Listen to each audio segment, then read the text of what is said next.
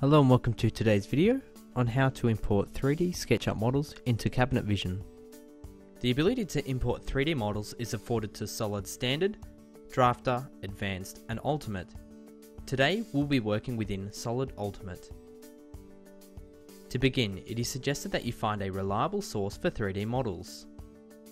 A great website to utilise is 3dwarehouse.sketchup.com.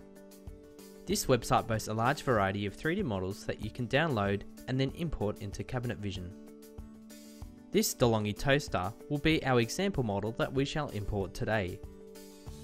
There are many methods to identifying quality models to import that are both high in quality and are not too large. The reason behind this is that if a model has an exceedingly high polygon count, it will draw on excess hardware resources on your PC. Once you have found the model that you would like to import, you can identify the information relating to this model on the right hand side. We can see that the poly count for this model is at the 10,000 mark, which means the model is of good quality but not too large. A good number to keep your polygon count below is 35,000.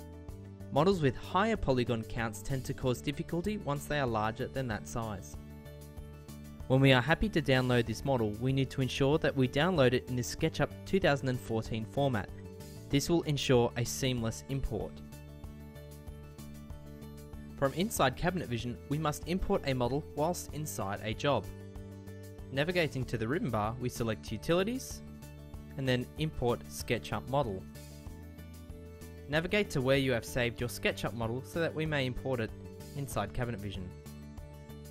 If you are greeted with this warning, it is simply indicating that there is a high polygon count or faces count contained within this model. Pressing yes will now import the model. We are now presented with the model import dialog box.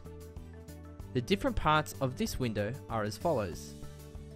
The view mode selections being wire mode, fill mode and solid render mode. This controls the look of our model whilst in this view. We have flip controls, which adjust the alignment of the model. This helps if the model appears upside down or in the wrong configuration. Typically, these models are at a 1 to 1 scale of what they have been drawn to replicate. The most critical part of importing a model is the part type allocation, listed within this selection of the dialog box. Type allows you to select Cabinet Vision part type to associate the imported part to. You must assign a part type to each imported layer, material or component. This is achieved by selecting each layer, model or component on the left hand side, then assigning a part to it.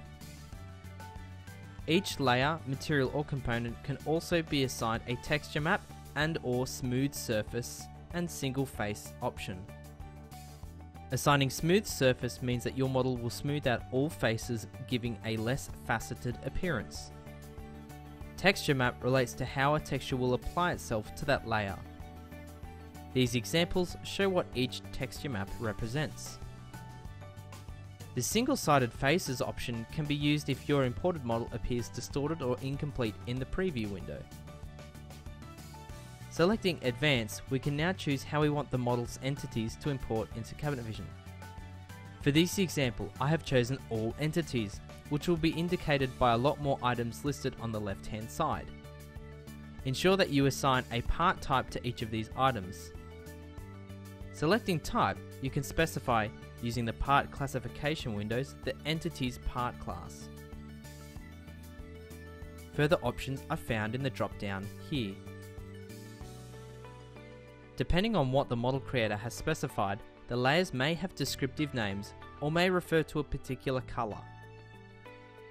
We can see that this model has had some layers and colours applied to it when it was created, which translate to how it looks in the preview window. Pressing save we will now define the model's name, description, as well as placement properties, accessed in the advanced menu. We'll classify the object's name, class and placement. We do not wish to add any additional preserves. Once we are finished in the advanced box, we will specify the icon for our model and its catalogue where it will be saved. We can press OK and then exit on the SketchUp model import box. Now we are ready to select our object from our object catalogue and place it within our job. After placing this object inside of an existing job, I have rendered it in PhotoVision and achieved a high quality render. Further colour changes can be made to this object by selecting it within a job, individually selecting a layer, then adjusting its properties by right clicking. By adjusting these settings, you can modify the colours of your 3D models parts and layers. Thank you for watching this video and I hope you have enjoyed learning the process of importing 3D SketchUp models into Cabinet Vision.